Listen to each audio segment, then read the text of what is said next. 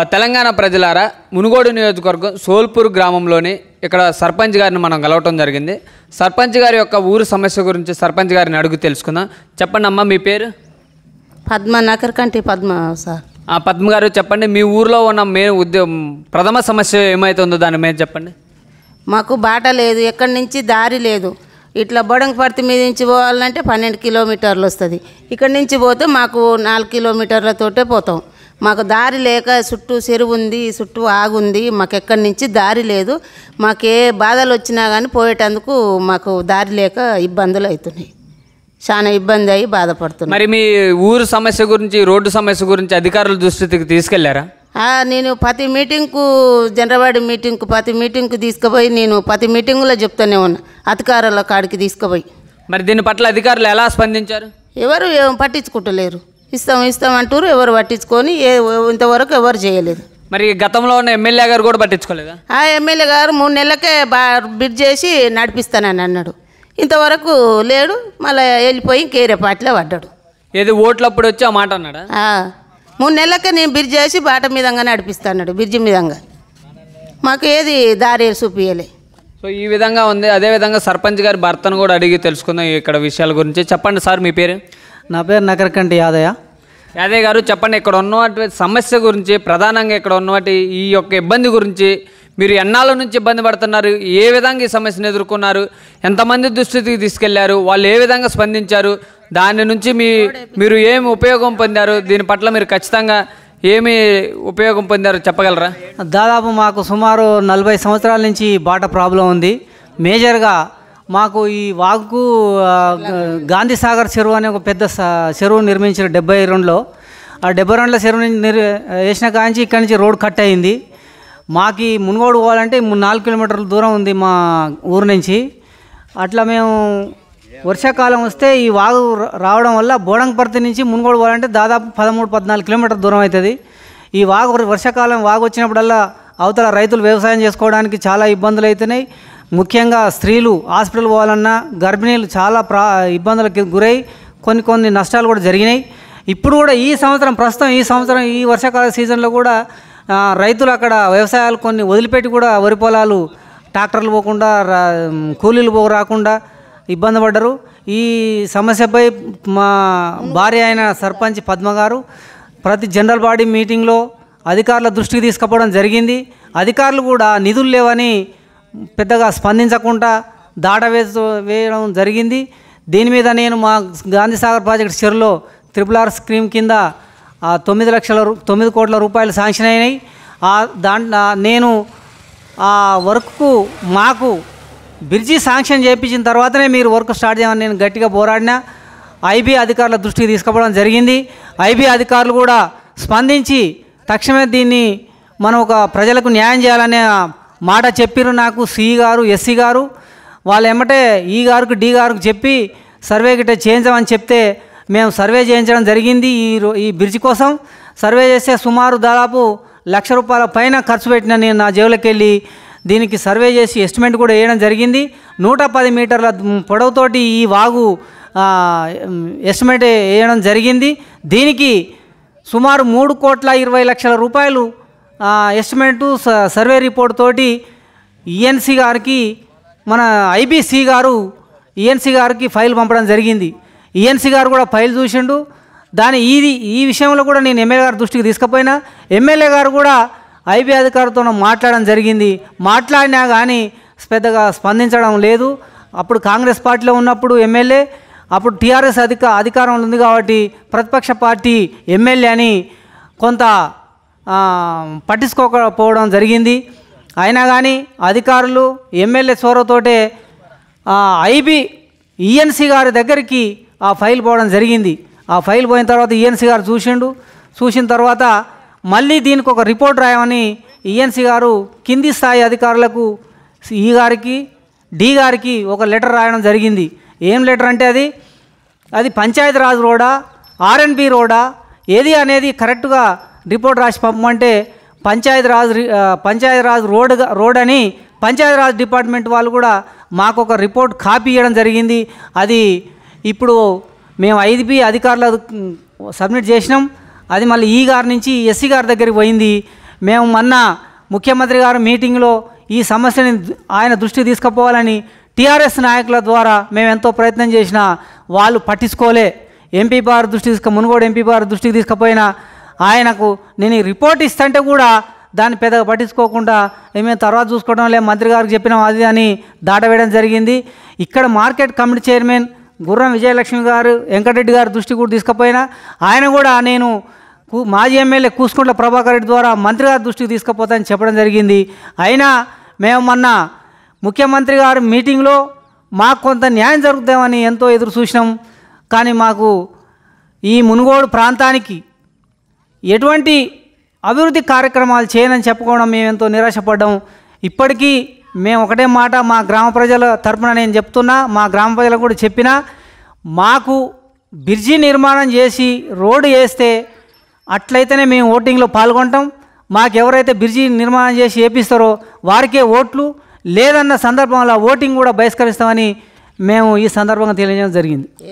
So ఈ విధంగా మునుగోడులోని ఈ విధమైన సమస్య ఉంది. పక్కనే మన టీఆర్ఎస్ పార్టీ మన కల్వకుంట్ల చంద్రశేఖరరావు గారు మీటింగ్ పెట్టారు. అక్కడికి వచ్చి వెళ్ళారు కానీ ఇక్కడ ఉన్నటువంటి సమస్య గురించి కూడా పట్టించుకోవట్లేదని స్థానిక సర్పంచ్ గారు మనకు తెలియజేస్తున్నారు. ఎన్నో మార్లు వాళ్ళ దృష్టికి తీసుకెళ్ళినప్పటికీ కూడా వాళ్ళు పట్టించుకోలేదని ఇక్కడ స్థానిక సర్పంచ్ గారు చెప్తున్నారు. దీని పట్ల ఖచ్చితంగా తెలంగాణ ప్రభుత్వం స్పందించాల్సిన అవసరం ఉందని మేము కోరుచున్నాం. తెలంగాణ ప్రజలకు నమస్కారాలు. మునుగోడు నియోజకవర్గం చోల్పూర్ గ్రామంలో ఉన్నాం. ప్రధానంగా ఇక్కడ నడుస్తున్నటువంటి సమస్య గురించి మనం ఇక్కడ ఉన్నటువంటి స్థానికులను అడిగి తెలుసుకుందాం. చెప్పండి అన్న ఇక్కడ మీకు ప్రజెంట్గా ఏ సమస్య మీద మీరు పోరాటం చేస్తున్నారు? మాకు ఈ రోడ్డు వరకు బ్రిడ్జ్ వర్క్ మీద పోరాటం చేస్తున్నాం. అంటే ఇక్కడ రోడ్డు సౌకర్యం అనేది లేదా మీకు? రోడ్డు సౌకర్యం లేదు ఇక్కడ.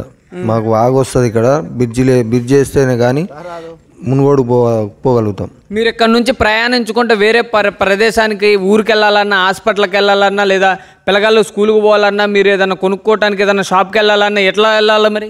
బోడంపర్తి నుంచి తిరిగి వెళ్ళాల్సి వస్తుంది. అంటే ఇక్కడ నుంచి చుట్టూ ఒక పది కిలోమీటర్లు తిరిగి వెళ్ళాలి? పన్నెండు కిలోమీటర్లు ఎక్స్ట్రా తిరగాల్సి వస్తుంది మూడు కిలోమీటర్ల తోవకి. ఒకవేళ ఇక్కడ బ్రిడ్జ్ చేస్తుంటే ఎంత దూరం ఉంటుంది ఇక్కడ నుంచి? మూడు కిలోమీటర్లు ఉంటుంది. మూడు కిలోమీటర్లు. అన్న చెప్పండి మీరు చెప్పండి అన్న ఇక్కడ మీ ఒక్క గ్రామం నుంచి మీకు ఈ ఉన్న సమస్య ఈ రోడ్డు సమస్య గురించి మీకున్న అభిప్రాయం ఏంటి? మరి గతంలో ఉన్న రాజకీయ నాయకులు ఈ రోడ్డు పరిస్థితిని పట్టించుకున్నారా లేదా? గతంలో ఉన్న రాజకీయ నాయకులు మీరు దాన్ని తెలియపరిచారా? వాళ్ళు దీని పట్ల ఎట్లా స్పందించారు? గతంలో ఉన్న రాజకీయ నాయకులు ఈ రోడ్డు గురించి మాట్లాడిన సంఘటనలు ఏమైనా ఉన్నాయా? ఈ రోడ్డు గురించి మేము నాకు నలభై సంవత్సరాలు ఉన్నాయి. మేము పుట్టక ముందు నుంచి ఈ నుంచి ఆ రోడ్డు నుంచి సర్వీసులు నడిచేదంట. బస్సులు. ఆ చెరువు పడడం వల్ల మాకు రోడ్డు ఇబ్బంది ఉంది. ఈ రోడ్డు లేక మా ఊర్లో చాలా మంది ఇట్లా అత్యవసరానికి లేక చచ్చిపోయారు. ఒక ఏడెనిమిది మంది చచ్చిపోయారు. అట్లా ఈ ఈ వాగు వచ్చినప్పుడు కూడా ఒక అమ్మాయి ఇలా పడిపోయింది. చిన్న అమ్మాయి పడిపోతే దొరకలే మాకు. ఈ రోడ్లో మేము పోవాలంటే చాలా నరకం అనుభవిస్తున్నాం అన్న. మా పిల్లలు స్కూల్కి పోవాలన్నా మాకేమైనా ఎరువు బస్తాలు తెచ్చుకోవాలన్నా కానీ ట్రాక్టర్ తీసుకొని పోవాలి తెచ్చుకోవాలి ఐదుగురు రైతులు కలిసి. ఆ రైతులకు అడిగి పోయి తెస్తేనే దిక్కు మాకు. ఎరువు బస్తాల కానీ మాకాడ పండే పంట ధరలిస్తేందుకు కూడా మేము పోయి మునుగోళ్ళ పోయి అమ్ముకొచ్చుకోవాల్సి వస్తుంది. మాకు అట్లాంటి ఇబ్బందులు మేము పడుతున్నాం. మాకు రాజకీయ నాయకులు వస్తారు వచ్చినప్పుడు మేము వేస్తున్నాం. ఐసా పైసా చేస్తారు రాజకీయ గెలిచి మళ్ళీ ఇంతవరకు ఇక్కడ మా ఊరికి వచ్చిన రాజకీయ నాయకుడు రెండోసారి వచ్చిన నాయకుడు లేడు. ఒక సూరవరం సుధాకర్ రెడ్డి ఉజ్జినారాయణరావు వచ్చిండు. ఒక రెండు సార్లు మూడు సార్లు ఎంపీగా ఉన్నప్పుడు వచ్చిండు. మా మేము చిన్న బచ్చగలం అట్లా అదే వచ్చుడు మళ్ళీ ఇంతవరకు రాలేక. మాకు ఆడ ఓట్లు దొబ్బకపోతారు మాకు రోడ్ వేస్తలేరు ఏం వేస్తలేరు. ఈ నుంచి పోతాం మాకు ఈజీగా మూడు కిలోమీటర్లు మూడు సార్లు నాలుగు సార్లు తిరగచ్చు ఇప్పుడు మాకు బండి ఉన్న ఇల్లు అయితేనే మునుగోడుకు పోగలుగుతుంది. బైక్ ఉన్న ఇల్లు అయితే. బైక్ లేని వాళ్ళు వేరే ఊరికి వెళ్ళి ఆటో పిలిపించుకోవాలి నైట్ వర్షం పడుతుంటే ఒక అమ్మాయికి డెలివరీ అయితే డెలివరీ కోసం అంబులెన్స్ రావడానికి రెండు గంటలు పడితే బైక్ మీద తీసుకుపోయినాం చెత్తలు పెట్టుకొని.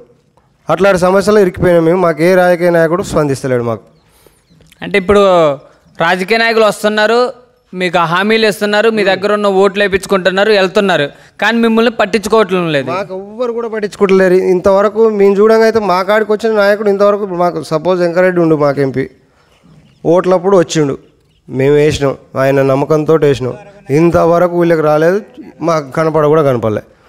అంటే ఇప్పుడు వరకు ఉన్నటువంటి పార్టీలు టీఆర్ఎస్ కానీ బీజేపీ కానీ సిపిఐ కానీ సిపిఎం కానీ కాంగ్రెస్ కానీ ఎటువంటి ఉపయోగకరమైన పనులు కూడా మీకు చేయటం జరగలేదంటారా? చేయలేదు చేయలేదు. మా కాడ బీజేపీ అనేది లేదు కానీ కాంగ్రెస్ ఉంది టీఆర్ఎస్ ఉంది కమ్యూనిస్ట్ ఉండే ఇంతకుముందు. కమ్యూనిస్టులనే కొంచెం పనులైనాయి ఆ కరెంటు స్తంభాలు మా ఊళ్ళోకి రావడం కానీ లైట్లు వెలగడం కానీ కమ్యూనిస్ట్ పని. మాకు ఇంతవరకు టీఆర్ఎస్ ప్రభుత్వం వచ్చినా కాంగ్రెస్ ప్రభుత్వం వచ్చినా మా ఊరికైతే ఏ సమస్య ఏది క్లియర్ కాలే. ఒకవేళ మళ్ళీ ఇప్పుడు రాజగోపాల్ రెడ్డి వచ్చి మీకు మళ్ళీ రోడ్డు మార్గం వేస్తా అంటే మీరు రాజగోపాల్ రెడ్డిని నమ్మి ఓటేస్తారా? రాజగోపాల్ రెడ్డి అని కాదు కాంగ్రెస్ వాళ్ళు వచ్చినా బీజేపీ వాళ్ళు వచ్చినా టీఆర్ఎస్ వాళ్ళు వచ్చినా మా ఊరికి బ్రిడ్జ్ వేస్తాని శంకుస్థాపన చేసి వర్క్ స్టార్ట్ చేస్తే మా ఊళ్ళో ఉన్న ఓట్లు మొత్తం ఆయనకే ఇచ్చేస్తాం. గతంలో కూడా ఇదే మాటలు చెప్పారు కానీ చేయలేదని మీరే చెప్తున్నారు కదా. మళ్ళీ అట్లే వచ్చి చెప్తున్నా అంటే మీరు ఎట్లా నమ్ముతున్నారు? మాకు పని స్టార్ట్ చేస్తేనే ఈసారి నమ్ముతాం. లేదంటే మా ఊరు ఓట్లు మొత్తం బయస్కాట్ చేస్తాం. మేము వేయలేం. మా అక్కడ రోడ్డు మొత్తం బంద్ చేస్తాం ఇక్కడ బంద్ చేస్తాం. మా సమస్యలు మాకు ఎప్పుడు క్లియర్ అయితే అప్పటిదాకా మేము అట్లనే ఉంటాం ఇంకా. మాకు గ్రామ పంచాయతీలు ఏ అవసరం లేదు. మేమైతే ఓట్లు వేయం. ఈ ఈ విధంగా నడుస్తుంది. చూడండి ఇక్కడ రోడ్డు రోడ్డు వేయాల్సిన ఈ బ్రిడ్జ్ వేయాల్సిన స- ప్రదేశం చూడండి. ఇది వాగు. ఇక్కడ నుంచి ఇక్కడ నుంచి మునుగు మునుగోడు ఒక మూడు కిలోమీటర్లు ఉంటుంది. ఈ మూడు కిలోమీటర్ల డిస్టెన్స్లోకి రావ ఈ ఊరికి రావడానికి ఇక్కడ బ్రిడ్జ్ చేయాలా కానీ ఎన్నో ప్రభుత్వాలు వచ్చి ఇక్కడ బ్రిడ్జ్ చేయకపోవటం వల్ల ఇక్కడ ఉన్నటువంటి స్థానిక ప్రజలు ఇక్కడ నుంచి ఈ మార్గం నుంచి ప్రవేశించలేకపోవటం వల్ల వాళ్ళు చుట్టూ తిరిగి పోవాల్సి వస్తుంది. అటువంటి పరిస్థితుల్లోని వాళ్ళు హాస్పిటల్కి పోవాల్సి వచ్చిన సమయంలోని ఎమర్జెన్సీ సమయంలోని వాళ్ళ హాస్పిటల్కి పోయే మార్గంలోనే గతంలోని ఎనిమిది ఎనిమిది మంది చచ్చిపోయినటువంటి సంఘటన ఇక్కడ చోటు చేసుకుంది. అదేవిధంగా గర్భిణీ స్త్రీలు కూడా హాస్పిటల్కి వెళ్ళవలసిన పరిస్థితుల్లోని ఈ మార్గం గుంట పోవడానికి అవకాశం లేక అటు పది కిలోమీటర్ల డిస్టెన్స్ నుంచి దూరం నుంచి తిరిగి పోవటం వల్ల దారి మధ్యలోనే వాళ్ళకి అనారోగ్యం పాలై ఎంతో ఇబ్బందికి గురవుతున్నారు. స్కూల్ పిల్లగాళ్ళు కూడా ఈ స్కూల్ పిల్లగాళ్ళు కూడా స్కూల్కి పోవడానికి కూడా టయానికి స్కూల్కి పోలేక ఇక్కడ బ్రిడ్జి అనేది శంకుస్థాపన చేయక గతంలో ఉన్న అనేక పార్టీలు వచ్చి ఇక్కడ బ్రిడ్జ్ ఇస్తాము మరి మీకు రోడ్డు సదుపాయం కల్పిస్తామని చెప్పి మరి అవి చెయ్యి నెరవేర్చలేకపోతున్నారు. ఈ స్కూల్ పిల్లలు కూడా స్కూల్కి పోవాలంటే కూడా ఇటు నుంచి పోవడానికి అవకాశం లేదు. పది కిలోమీటర్ల చుట్టూ తిరిగి పోవాల్సి వస్తుంది. ఆ పోయే ఆ పది కిలోమీటర్ల రోడ్డు కూడా గుంతలుగాను మరియు నీళ్ళతోను మరియు ఎన్నో ఇబ్బందికరంగాను ఆ రోడ్డు మార్గం కూడా ఉన్నది. మేము ఇప్పుడు వచ్చేటప్పుడు చూసుకుంటూ వచ్చినాం. ఈ విధంగా మునుగోడు నియోజకవర్గం సోల్పూర్ గ్రామంలోని ఈ విధంగా ఇప్పటి వరకు అభివృద్ధి చేసిన ప్రభుత్వాలు ఏ అయితే అభివృద్ధి చేసినాయని చెప్తున్నాయో ఈ విధంగా మునుగోడు నియోజకవర్గంలోనే జరుగుతుంది.